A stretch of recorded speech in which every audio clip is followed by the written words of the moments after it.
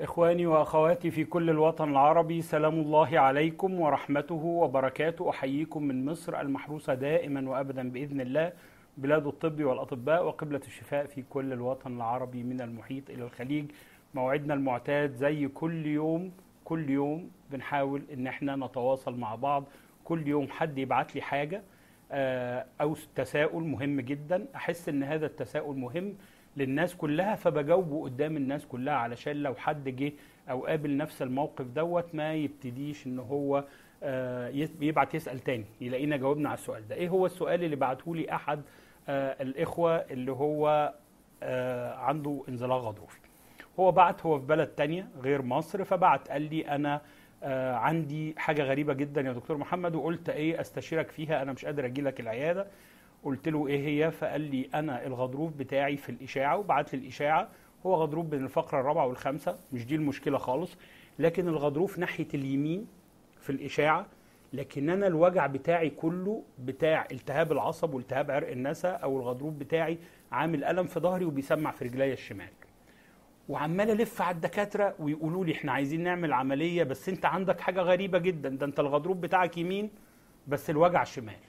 طيب بيقول لي هل انت شفت حالة زي كده قبل كده يا دكتور محمد؟ قلت له ده أنا شفت حالات زي كده كتير والدكاترة اللي انت رحت لهم وبيقولوا لك دي حالة غريبة برضو شافوا حالة زي كده كتير. بس هم محسسينك إنها حالة غريبة وإن انت لازم تعمل عملية وكده. وال- والحالة دي مش غريبة ده هو ده الواقع وهو ده الصح. إزاي؟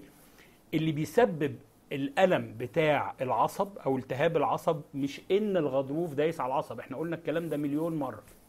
مش الغضروف اللي دايس على العصب.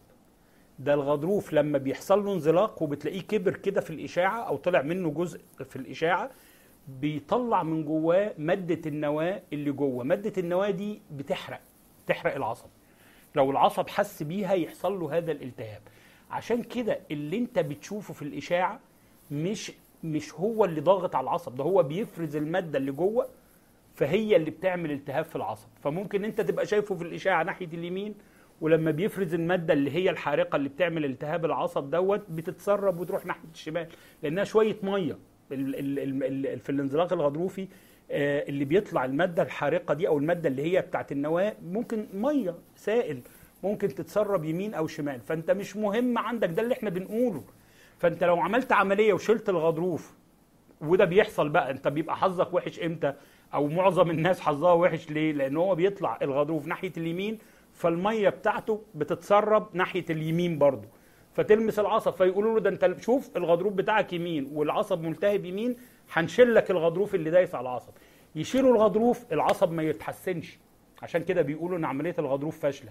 فاشلة ليه؟ لأن أنت عملت حاجة ملهاش لازمة. أنت شلت الغضروف اللي شكله كبير اللي إحنا بنقول عليه ما هواش ضاغط على العصب ده لامس العصب بس تمام؟ وسبت المية اللي طالعة منه عمالة تطلع برضه فانت زودت الحالة. انت بدل ما هو كان بتنقط نقطة كده كل يوم لا ده انت فتحت الغضروف كله وبقت حنفية مية حارقة بتنزل على العصب كل إيه؟ كل يوم. فيقول لك ده الألم زاد. وده موجود في الكتاب بتاعي. يعني الكتاب اللي أنا آه، ال- ال- اللي إحنا عاملينه وبنوزعه في العيادة وموجود على على الإنترنت موجود مجانا على الإنترنت تقدروا تنزلوه. من ضمنها تفسير الموضوع ده. في أحد الصفحات أنا كاتب إن يا جماعة اللي بيعمل لكم الألم والتهاب عرق النسا مش إن الغضروف ضاغط على العصب. ده إن المادة النواة الحارقة بتخرج وتلمس وتعمل التهاب في العصب. سواء بقى الغضروف يمين هي بقى حرة تروح يمين تروح شمال مش المشكلة في الغضروف مشكلة في المادة الحارقة. تمام؟ فده تفسير ليه إن أنت عندك في الإشاعة غضروفك ناحية اليمين بس العصب الشمال اللي اللي بيل- اللي بيلتهب أو اللي اللي تعبك.